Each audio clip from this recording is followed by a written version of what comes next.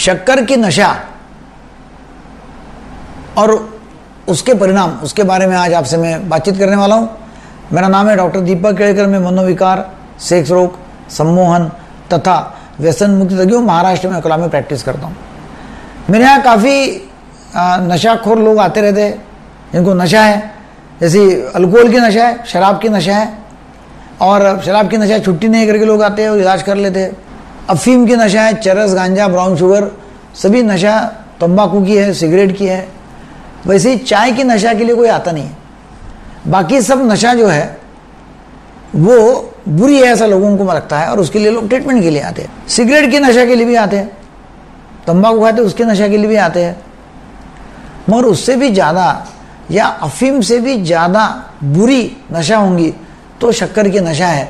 ऐसा अभी ऑस्ट्रेलिया में जो साइंटिस्ट लोगों ने जो निष्कर्ष निकाले जो उन्होंने स्टडी किया उसमें से मालूम पड़ा है। हम बोलते हैं कि नहीं नहीं वो शराब पी रहा है शराब पी रहा है बहुत बुरी बात है शराब नहीं पीना चाहिए। शराब से लिवर के ऊपर उसका असर होता है आ, बाकी हार्ट के ऊपर असर हो जाता है बीमारी हो जाती है अलग अलग उसको। नहीं अफीम नहीं लेना चाहिए मॉर्फिन लेने से या हीरोइन लेने से या ब्राउन शुगर लेने से पूरे बदन के ऊपर उसका असर होता है ब्रेन के ऊपर असर होता है और वो नशा बेकार है उसका ट्रीटमेंट होना चाहिए। ऐसा हम बोलते रहते हैं। हम ये भी बोलते हैं कि नहीं फैटी जो सब्सटेंसेस है मतलब फैटी जिसमें ज़्यादा फैट्स है, चर्बी ज़्यादा है, वो पदार्थ हमने नहीं खाना चाहिए, क्योंकि वहाँ से हम, हमारी जाड़ी बहुत हो जाती है, मोटे हो जाते हैं, मोटापा आ जाता है। मगर उससे भी ज़्यादा अभी ये मालूम पड़ा है कि शुगर शक्कर, उसकी नशा जो है वो बहुत बेकार है। शक्कर की नशा इतनी बुरी है कि लोगों को शक्कर के सिवा चलता नहीं है। शक्कर तो खाना खाने बाद में लोगों को होना ही होना है। शक्कर का कोई पदार्थ है तो वो खाने की उनकी इच्छा रहेंगी।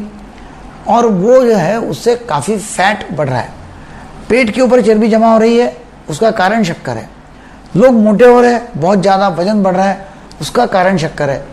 तो शक्कर की नशा, अफीम के नशा से, नशे से भी बहुत बुरी है, समझना बहुत ज़रूरी है। और शक्कर एकदम बंद करना चाहिए। अभी इसके लिए एडिक्शन जो है, उसके लिए ट्रीटमेंट है। हार्डली कोई लोग मेरे पास में आते हैं। कि इनको शक्कर की नशा है करके। मगर मुझे भी पक्का विश्वास है कि ये वीडियो देख के लोग अपने अपने शक्कर के, शक्कर की जो नशा है, उसके लिए सजग हो जाएँगे। उसको एक्नॉलेज करेंगे कि नहीं, मुझे शक्कर के नशा मेरे को छोड़ना पड़ेगा। क्योंकि आपको एक बार मतलब तंबाकू, सिगरेट पान चलेगा उससे उससे भी मैं बोला, उससे भी ज़्यादा बुरा है तो शक्कर की नशा है। तो वो छोड़ना बहुत ज़रूरी है क्योंकि उससे बहुत शरीर के ऊपर नुकसान हो रहा है। कार्ब जो है, कार्बोहाइड्रेट्स वैसे तो कार्बोहाइड्रेट्स पूरे बंद करना चाहिए। कार्बोहाइड्रेट से सबसे ज़्यादा नुकसान अपने बॉडी को होते रहता है। जितने कार्ब्स आप कम खाएँगे कार्बोहाइड्रेट्स कम खाएँगे, उतना अच्छा है। शक्कर में तो पूरा कार्बोहाइड्रेट ही है। ज़्यादा प्रोटीन्स खाओ, वज़न एकदम ही बहुत शेप में आ जाएगा मसल्स अच्छी बनेगी। कम से कम फैट खाओ और कार्बोहाइड्रेट जो है तो बंद करो। शक्कर को तो हाथ भी लगाना नहीं, शक्कर का स्मेल भी लेना नहीं चाहिए।